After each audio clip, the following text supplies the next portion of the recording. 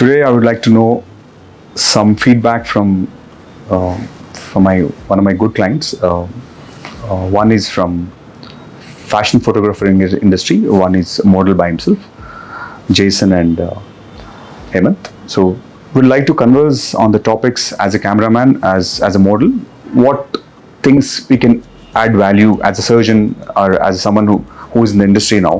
So I would like to tell people. So these are the people who are expert in the, their domains. We'll just understand their perspective on the beauty and uh, and uh, because they they see the camera every day. They they're in front of the camera.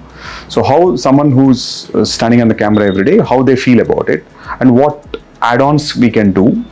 So though yes, they work on the body, they work on their posture, they work on the clothing. I think all all is done, said and done a little more yes as as as a cosmetologist we can always add more so let's uh, come to jason please uh, give us some uh, light i mean i'm sure you you've worked with multiple people in the industry and uh, you've seen you've traveled the globe congratulations for your uh, for your award you got in thailand Thank you so much. Yeah. Appreciate it. so how is uh, india as uh, shaping up and what is changes you see in the indian man now uh, what best what are the change when you compare to the global now so where are we at currently now Well, to be very honest, I think one thing I've noticed uh, in a lot of men in this you know new generation is uh, we lack a very strong uh, jaw features. You know, it's it's for, for me. I feel that it's um, we haven't been having that you know strong manly jaw jawline and jaw structure in men. And I think uh, you know in this industry, of course, it it, it really matters how well defined your jaw is, and you know I think uh, yeah, of course, a chiseled jaw. So.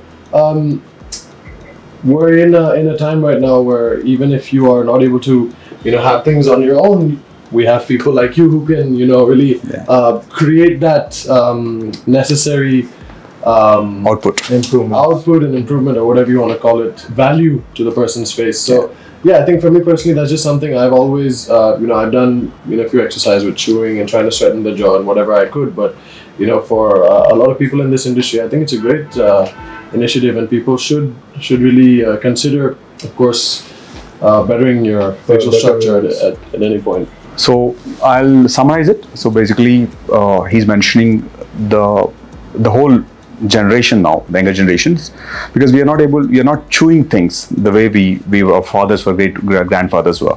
So the the lower muscles, especially in the lower jaw muscles, were actually uh, coming down, smaller and smaller. And I'm sure uh, people in the industry now consciously they are doing chewing exercises with the resistant bands, and uh, they bite uh, rubber. Uh, uh, rubber jaws, right? Yeah, rubber jaws, and they keep biting them. and kind of what you do with the chewing gum, they do the something with the stronger force, which will uh, give a masseter and a little more definition.